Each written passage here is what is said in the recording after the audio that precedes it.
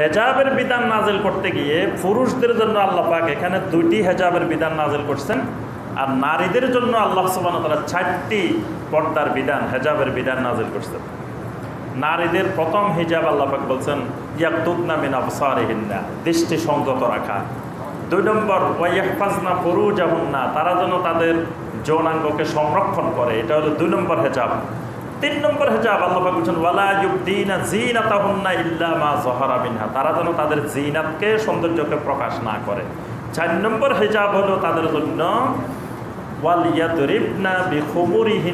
আলা ঝুয়ুবিহীন তারা যেন তাদের বুকের উপরে একটা বড় ওড়না দিয়ে দেয় ওড়না দিয়ে বুকটাকে ডেকে রাখে।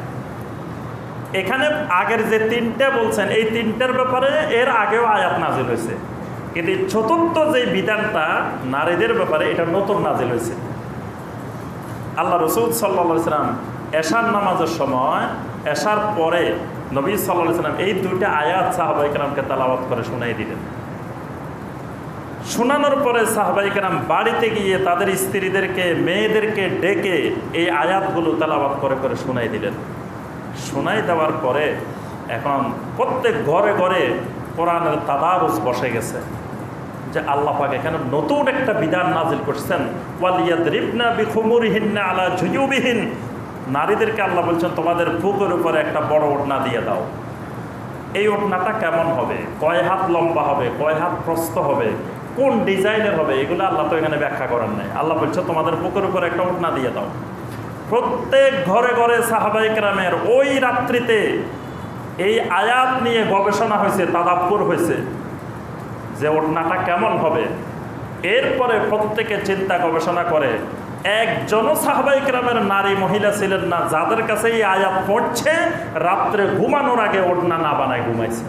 সোহান সবার ঘরে ঘরে কাপড় কেটে কেটে ওড়না বানায় ফেলছে।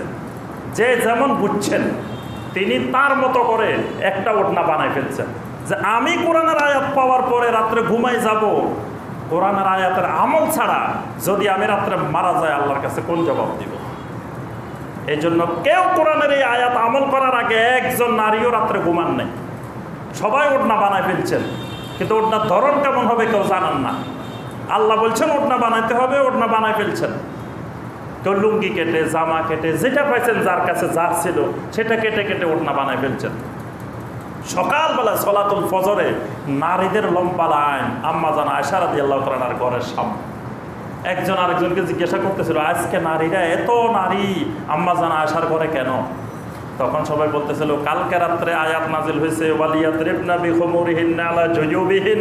আল্লাহ বলছে, নারীরা যেন তাদের বুকের উপরে ওড়না পরিধান করে, ওই ওড়নাটা রাত্রে সব মহিলারা বানাইছে, কিন্তু ওড়নাটা আল্লাহ কোন ধরনের ওড়না চাইছেন?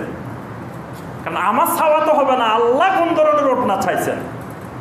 সেটার তো সাথে তো মিলতে হবে। আল্লাহ যেটা চাইছেন সেটার সাথে না মিললে আমার ইচ্ছা মতো ওড়না বানাইলে তো হবে না। এই জন্য সাহাবাই গ্রামের মহিলারা আম্মা জানা আসার কাছে আসছেন তাদের ওড়নাগুলো দেখানোর জন্য। যে আল্লাহকে এই ধরনের ওড়না চাইছেন না কোন ধরনের ওড়না চাইছেন? সোহান আল্লাহ